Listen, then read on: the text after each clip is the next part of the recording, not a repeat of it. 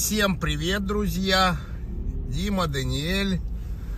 Э, сейчас не Скалска, сейчас э, Одрин, Эдирне, Турция, 28 декабря.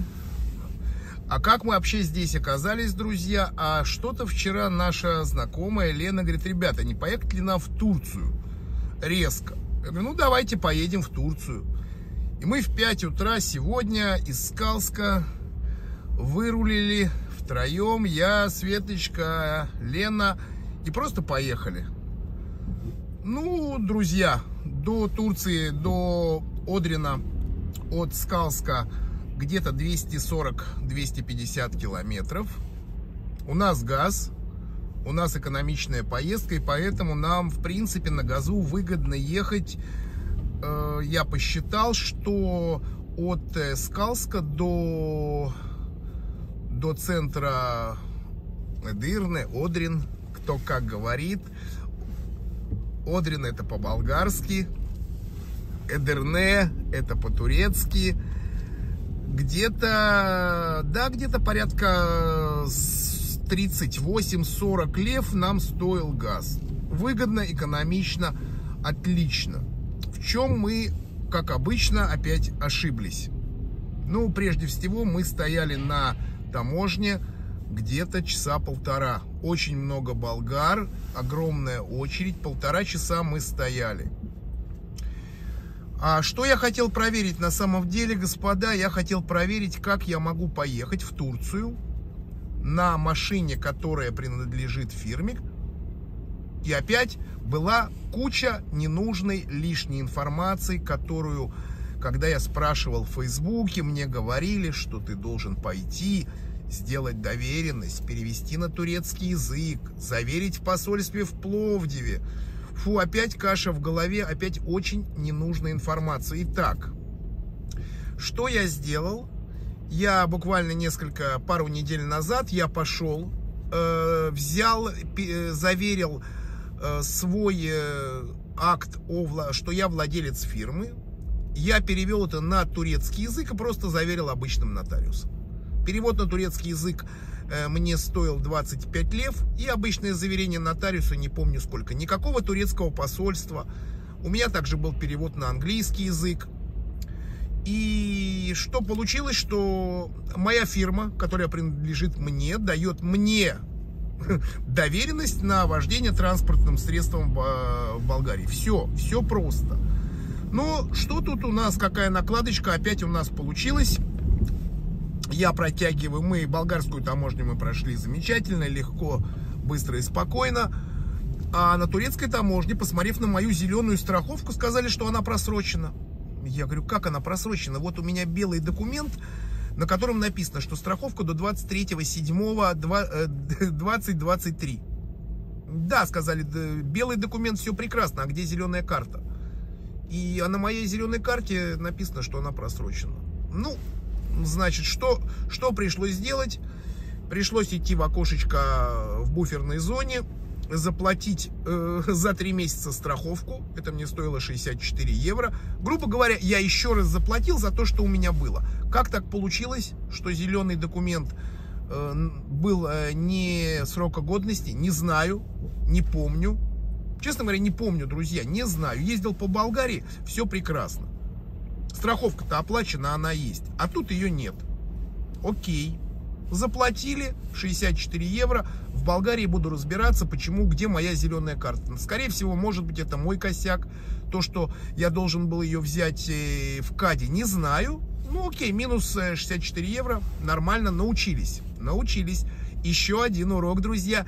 Проверяйте срок годности, если вы едете за границу, вашей зеленой карты обязательной страховки в Болгарии.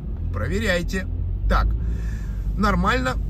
И тут мне в окошечке смотрят на мои права и говорят, а вы сейчас обратно в Болгарию возвращаетесь, у вас права не подходят. Я говорю, как это права не подходят? У меня международные права а турецкий пограничник говорит, «Э, а вы не гражданин Болгарии. Я говорю, стоп, стоп, стоп, стоп, стоп. А вот моя личная карта. Ну, все, вариантов у него нет. И мы приехали э, в Эдирне. Ехали долго с этой очередью. Э, долго, долго, долго, долго. И сейчас что происходит? Парковок, друзья мои, просто нет. Встать double parking негде. Неудобно. Центр города. Я Лену и Светлану оставил в самом центре, чтобы они пошли поменяли деньги, и они пошли покупать себе нитки, пряжу, ткани, а я договорился с ними на встретиться в определенном месте в определенное время. И пока я катаюсь, чтобы убить время, смотрю по сторонам. А, чтобы вы понимали, друзья, а у меня нет навигатора.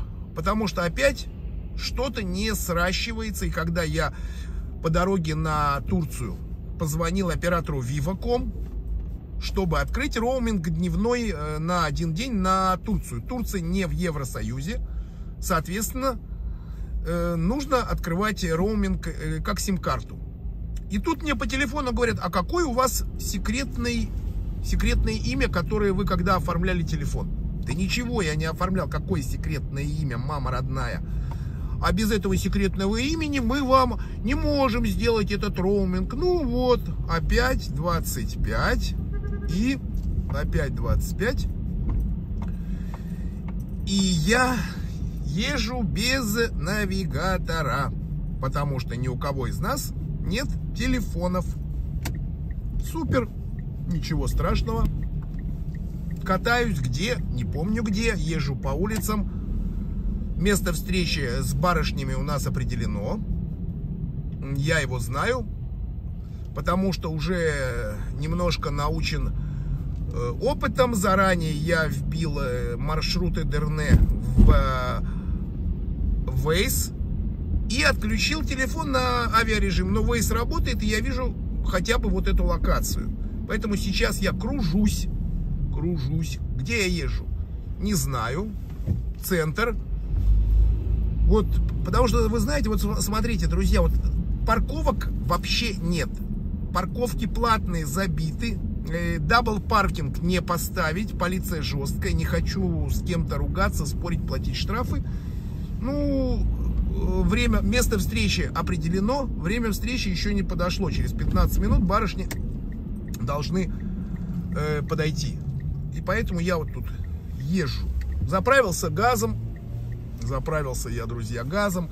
Газ э, здесь стоит э, 1,035, 1,04 в, э, в сравнении с левыми. Бензин здесь стоит 2,20 2.10. Другие цены. Окей. Прекрасно. Наши планы. Барышни пошли покупать много-много-много ниток. Шерсть. Светочка вяжет. Ей это нравится. Лена смотрит ткани. А я... Я уже, главное, вспомнил, где супермаркет. Куда мы потом поедем затариваться мясом. И еще чем-нибудь. И все, я спокоен. Газ заправлен. Э сигареты не куплены, потому что в duty free а, практически невозможно было туда пройти, потому что огромная очередь э, к турецкой к этой границе и просто не было где поставить машину. Ну, значит, сигарет мы не купим. И, в общем-то, правильно, потому что по законам в Болгарию можно ввозить всего две пачки сигарет на человека. Две пачки, не два блока. Это важно. Значит, не куплю сигарет, ничего страшного куплю, а, купил на бензоколонке там э, две пачки желтый Camel по 3 по, по, по, по 3,30 лев. Потому что кончаются сигареты. Ну, у нас не сигаретные туры, мы контрабанду не везем, господа. Здесь очень жестко, здесь до такой степени жестко на границе, что а, смотрят ваши личные сумки на въезд в Болгарию. Болгарские таможенники серьезным образом обращает внимание на сигареты. Это нельзя возить много. Ну, как и в любой точке мира, есть ограничения на алкоголь, на сигареты или на что-то еще. Так, вот где-то я сейчас, наверное, приткнусь, потому что это уже выезд в сторону границы. И мне надо будет развернуться, развернуться и потом ехать за дамами Вот, друзья мои, так началось наше короткое однодневное путешествие. Оно в середине. Мы сегодня же возвращаемся. Сегодня же. Турецкий таможенник спрашивает, вы за сколько? На три месяца? На один месяц? Я говорю, да нет, друг мой, мы всего лишь на один день. Он улыбнулся, понял, что нас обратно не отправить в Болгарию. Права есть, лично карта есть, птичку на ред. Ну, в принципе, все, пока. Э, продолжение следует. Поеду встречать барышень с нитками.